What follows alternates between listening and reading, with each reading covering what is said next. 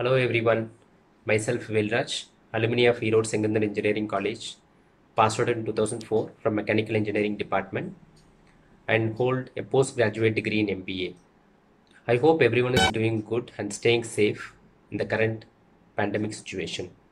It is more than 15 years now since I graduated from Erode Sengunthar Engineering College and I am delighted now to speak about the college that I graduated and about my professional experience.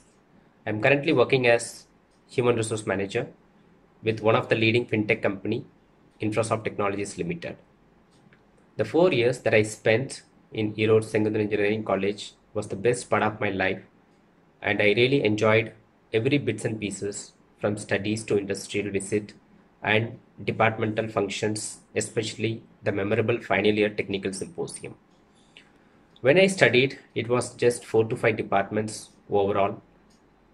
But now I could see that college has grown up by offering many courses both in UG and PG, including management studies, with a lot of facilities to the students. I thank the institute and the faculty for all their time and efforts in teaching self-discipline, confidence, and problem-solving skills, in addition to regular subject which is more essential for anyone to start the career.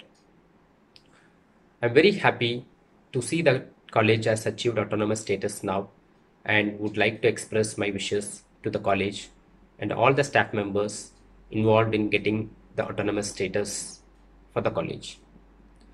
For the current batch, I would like to say something that six important things that will bring success in your career.